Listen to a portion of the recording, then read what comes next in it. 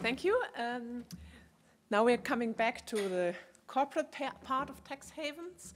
Uh, I will talk about the effects of country-by-country reporting and whether it might even increase profit shifting. So there's a joint project with my PhD student, Ruby Doeleman and Dirk Schindler from Rotterdam. So uh, I don't have to say much about the introduction because Casper nicely did most of that for us. Um, so as I said, we return to the use of multinational corporations using tax havens. Um, we know that a relatively large share of multinational corporations' profits are held in tax havens, and there has been some policy changes in the last couple of years, the global minimum taxation, and efforts to increase transparency. The main effort here is the implementation of country-by-country -country reporting, which has been in place now for a couple of years, since 2016. Um, quick reminder, what is the country-by-country -country reporting? What does it do? Um, it provides tax authorities in one country with information on a firm's activities in other countries. So um, let me give you an example. Let's think of an, let's say, US multinational, uh, which has three foreign affiliates, one here in Norway, one in Nigeria, and one in Ireland. The Norwegian tax authorities, pre-country by country reporting, were only able to see the profits and the employees, the tax payment in Norway. They had no idea what was going on in the other countries. With country by country reporting, the Norwegian tax authorities can now see that this firm has a ton of profits in Ireland, right? And this, the profits in Ireland might be an indication that this firm is very actively shifting profits to Ireland and that it might be worthwhile for the tax authorities to target this firm and audit it more closely to figure out what's going on, how is it shifting the profits to Ireland. Um, yeah, this is in place, it's private at the moment, so only the tax authorities get the information and it applies in not all, but many countries worldwide to uh, all multinational firms with a global turnover of above uh, 750 million euros. Yeah. Um, what do we want to show in this paper? We want to figure out a bit more about the mechanism, how country by country reporting might work against profit shifting. As I told you in the example, country by country reporting helps the tax authorities to identify these firms that are shifting profits very actively, right? So they can target them in audits, increasing the cost of profit shifting. That's the idea behind it, how it should work. However, it does have a second effect. Right. When the tax authority see the Norwegian tax authority sees the high profits in Ireland, it does not see whether these profits originated in Norway. Right? Let's say it's a medium profitability firm in Norway. It has a ton of profits in Ireland. The profits in Ireland might also come from Nigeria, right? The tax authority doesn't know that. So what country by country reporting now changes is that the how much profit is shifted from Nigeria to Ireland changes the likelihood of an audit for the Norwegian firm. So the profit shifting decisions of the individual affiliates now get interlinked. That's the mechanism that I will uh, explain to you in a bit more detail in a moment. What we do in the paper, long paper, it has a theory model and presents some empirical evidence. I now only want to give you a, a rough overview of what we, what we do. Um, um, I'll be very brief about the previous literature. Um, there's some empirical literature, and I think the takeaway message from this slide is, is that the findings are maybe disappointing to those who have hoped that CBC reporting will be a game changer they are, there's mixed evidence. Nobody has found strong effects. There's little real evidence of country by country reporting working against profit shifting. And um, we think we have an answer to why that's the case, why the empirical literature has not really found a clear picture. Let me explain the mechanism we show in the model in a bit more detail. So what we model is a multinational firm um, with three affiliates, a high tax affiliate, in the example I gave you, think of the Nigerian uh, affiliate tax rate, let's say 30%, maybe 35%, ta high tax country, an affiliate that's really producing something. There's a second affiliate that's also really producing something. We call it the low tax affiliate. We might maybe we should call it the middle tax uh, affiliate.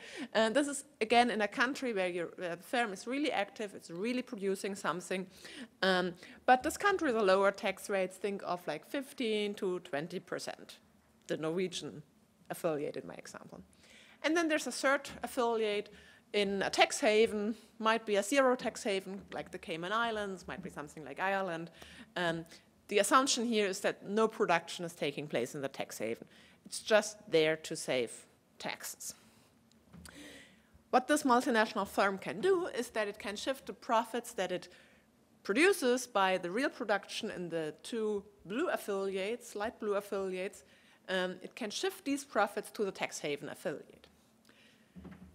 If it shifts profit, it incurs two types of costs. Uh, the first type of cost, for those of you who are somewhat familiar with this literature, that's the standard profit shifting cost. Um, we call it tax planning cost. That's the ex ante cost of shifting profits to the tax haven. You need to set up some structures. We heard about the fixed cost of profit shifting. You need to transfer patents. You need to hire lawyers, consultants to set up the possibility to shift profits from any of these affiliates to the tax haven. And these um, costs increase somewhat in the amount of profits shifted. But they are affiliate specific.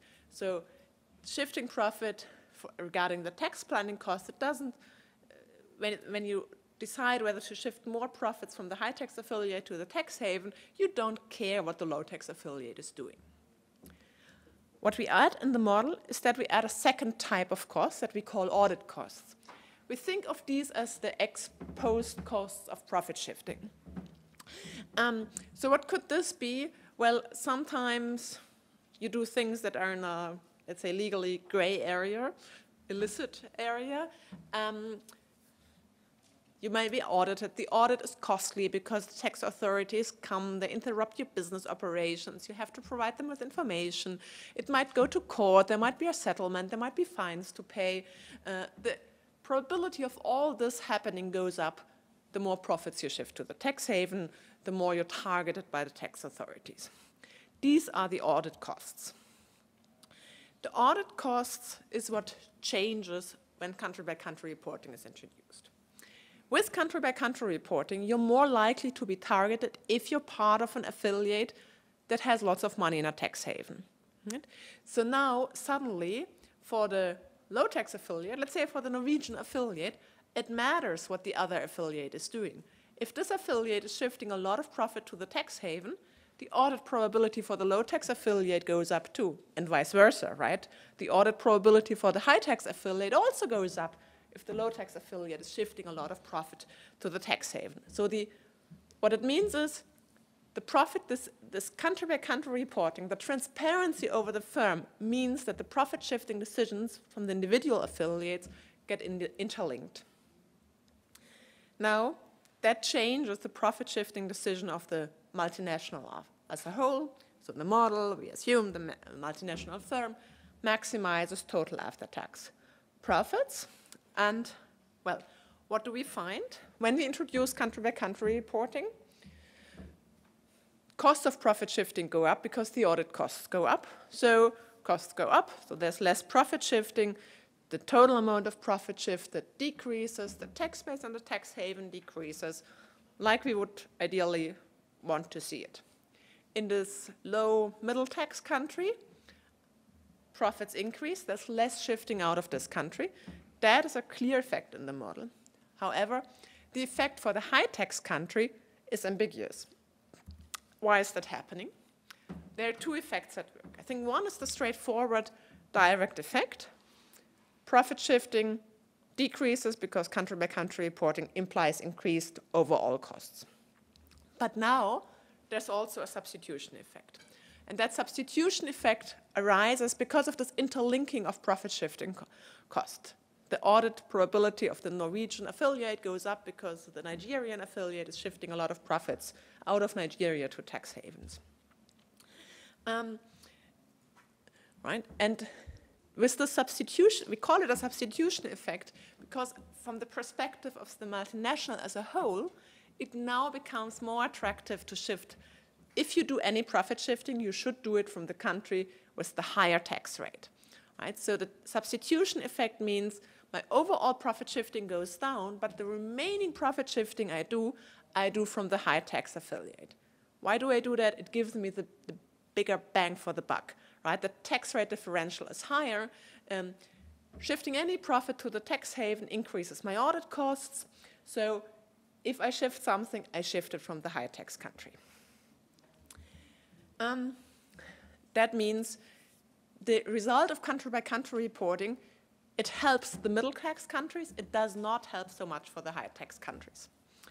And that resolves some of the mixed empirical findings that previous literature has shown us. Um, let me just go through some of that. Um, for example, the uh, previous literature finds um, very small effects on increasing um, total tax payments or consolidated effective tax rates, um, as these, this literature usually uses Orbis, which over represents relatively high tax countries where we expect this ambiguous effect. Um, we also see in the literature that country by country reporting seems to increase investments in European countries that have preferential tax regimes.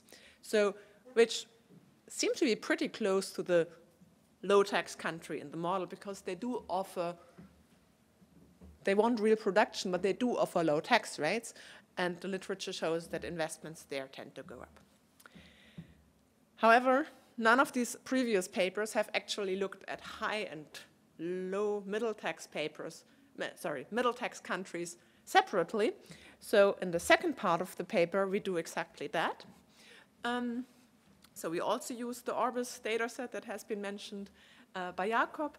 Um, it's balance sheet data at the affiliate level, and we do a difference in difference analysis. That means we compare the profitability of firms before and after the, uh, the introduction of country-by-country -country reporting. Um, and as a control group, we use affiliates of those multinational firms that are not subject to country-by-country -country reporting, either because they fall under the size threshold or because they are part of a multinational group that's not in one of the countries that introduce country-by-country -country reporting. The model gives us three hypotheses. The first one is that profits and tax havens should decrease, which we um, can't really test because Orbis has notoriously bad coverage in tax havens, so we should not focus on that. So the main test is what happens with the profits in high tax countries and what happens with the profits in the low middle tax countries. For the low and middle tax countries, the effect should be clear, right? Profit shifting goes down, so the profits in these countries should go up for the affiliates affected by country-by-country -country reporting. For the high-tax country, um, the mo model does not make such a clear prediction. It depends on the size of this direct effect and the substitution effect. Um, so the profits could go up, indicating less profit shifting, or they could go down, indicating more profit shifting as this profit shifting substitutes the profits shifted from the other country. So that's the setup. Here are the results. So, um, right, that's the sample split. So columns one, three, and five are the low tax countries, and we find exactly what we expected. Profits in these countries go up after the introduction of country by country reporting. Less profit is shifted to tax havens. Great news for the country by country reporting less great news when you look at the high tax countries, right? So um, we see consistently negative uh, coefficients here, not when we add controls, no longer that significant. Um, clearly, there's no, country by country reporting is not a success story in the high tax countries. It even seems to indicate that um, less profit is in the affiliates in the high-tax countries are less profitable after the introduction of country-per-country reporting, in line that with the idea from the model that more profits are shifted out of these affiliates instead of also shifting out of the low-tax affiliates. Um, yeah. Now, um, I was asked to think a bit about what the implication of this paper is for low and middle income countries, and that's actually a very interesting question because I think this paper actually does have some interesting things to say given the relatively high corporate tax rates that we have in many low middle income countries. Um, so I think the, the straight message from the model is that we should not expect country by country reporting to be a major positive development for developing countries. Um, given the relatively high tax rates, right, they're likely to be in the high tax group and unlikely to profit from the um, country by country reporting. That's the prediction. We do have a data set, so we thought, well, maybe we should just have a look. Uh, it's the Orbis data set that uh, as Caspar has already said, has not very good coverage of these countries. Actually, there is no low-income country in our data at all, so this is actually a result for middle-income countries. Um, and almost all of our observations here are, in our definition, high-tax affiliates in high-tax countries, around 95% of the observations. Um, and then we just rerun the main, the empirical uh, the diff and diff analysis in the sample, and we find a substantial negative effect. So meaning after the introduction of country-by-country reporting, right, if it works, profits should go up as less profit is shifted to tax havens, but what happens is profits actually go down relative to the control group. So the country-by-country -country reporting um, does not seem to help at all it's a tiny sample, it's 4,000 observations. It was a quick and dirty analysis for the conference, so I would not put too much faith into it, but I think it does underline the point that we should not put too much hope into country-by-country reporting, solving the pro problems arising from profit shifting from multinational corporations in any countries with relatively high tax rates, and this seems to hold in particular for low and middle income countries look at the size of the coefficient, right? It's, um, it's a lot higher than the negative coefficients we got for the high-tax countries in the main analysis. So if, if we want to put faith in this very small sample, it's bad news on the effectiveness of country-by-country -country reporting. Great. So I think I'll use my last 30 seconds to wrap up. Thanks for listening. I hope to have, you know, planted an idea in your mind that this country-by-country reporting might not be as positive as uh, it first seems, that it might actually have negative effects that arise because the fact that the tax authority now sees what is happening in other affiliate changes the profit shifting incentives and might imply that more profit is shifted out from the affiliates that give you the biggest bang for the buck, it, that's those affiliates that face the highest tax rates. And that's what the model predicts and which seems to hold pretty well in the empirical analysis. Thank you.